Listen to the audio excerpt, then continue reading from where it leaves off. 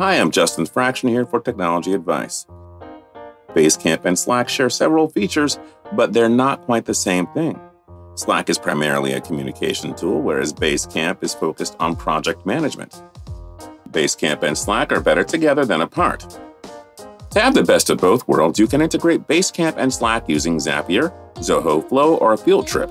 In this overview, we'll cover how this integration works and how it can help you streamline your workflow. Before we get started, let's take a quick look at both applications. Slack is an all in one communication tool with a ton of integrations, ensuring that users have everything they need at their fingertips. Furthermore, Slack boasts a search function that enables users to easily retrieve past conversations within their organization. Slack also supports RSS feeds and webhooks on all channels, and Zapier can be used to push updates to Slack. Basecamp, on the other hand, operates differently from Slack.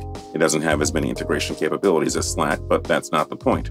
Basecamp is designed to be a repository for all project related documents, providing a centralized location where team members can access and manage important project information. So, let's say an entire team is working on a project.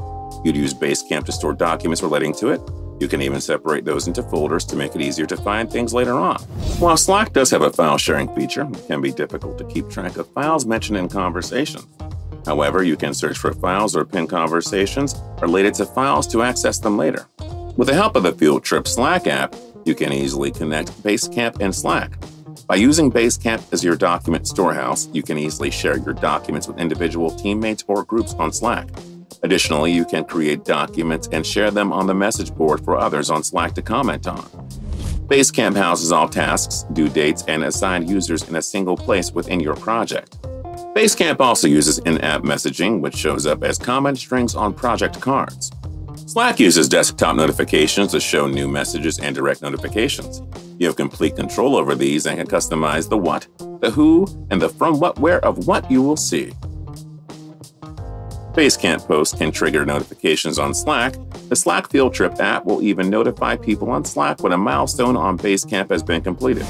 Basecamp will store every document, every file, and every task in one place. While some project management packages will let you build custom workflows or Gantt charts, Basecamp doesn't go that far. However, messaging does happen within a project between individuals or through group messages called pings that live outside of the projects. Slack is all about the conversation. Again, it can allow you to share documents between team members, but it's primarily a communication app first. With Zapier, Basecamp can be used to generate Slack channels to allow for straightforward communication between members. Adversely, you can create messages on Slack that can become tasks on Basecamp. You can run reports based on assignments, projects, dates, team members, etc. These reports are designed to help you keep track of who did what and what is left to be done. Slack sends out weekly update emails that give an overview of Slack activity. There are also start pages that admins can review about the activity.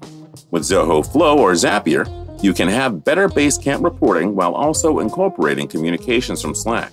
So if your project was being worked on in Basecamp and discussions around it were being had on Slack, integrated reports can collate all of it. Zapier will also let users send Slack messages with reports of Basecamp to-dos regularly. And the Field Trip Slack app can let leaders do automatic check-ins and track productivity. If you're trying to decide if Basecamp or Slack is better for your team, don't. You can use both, and we hope we've given you some ideas of how that can work. Basecamp can allow users to document team collaboration and tasks, while Slack enables instant messaging and document sharing.